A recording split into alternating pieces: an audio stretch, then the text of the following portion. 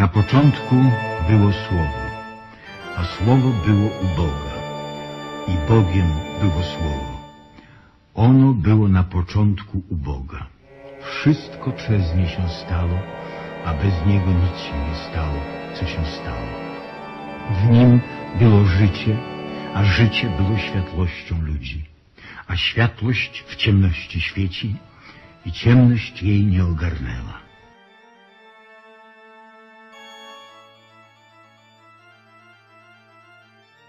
Posłał Bóg anioła Gabriela do miasta w Galilei zwanego Nazaret, do dziewicy poślubionej mężowi imieniem Józef z rodu Dawida.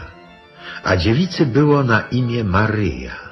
Anioł wszedł do niej i rzekł, bądź pozdrowiona, pełna łaski, Pan z Tobą, błogosławiona jesteś między niewiastami. Ona zmieszała się na te słowa i rozważała, co miałoby znaczyć to pozdrowienie. Lecz anioł rzekł do niej, nie bój się, Maryjo, znalazłaś bowiem łaskę u Boga. Oto poczniesz i porodzisz syna, któremu nadasz imię Jezus. Będzie on wielki i będzie nazwany Synem Najwyższego, a Pan Bóg da mu tron jego praojca Dawida. Będzie panował nad domem Jakuba na wieki, a jego panowaniu nie będzie końca.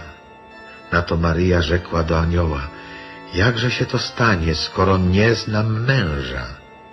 Anioł jej odpowiedział, Duch Święty zstąpi na ciebie i moc Najwyższego osłoni cię.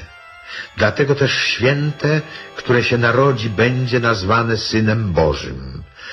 A oto również krewna twoja, Elżbieta, poczęła w swej starości syna i jest już w szóstym miesiącu ta, która uchodzi za niepłodną.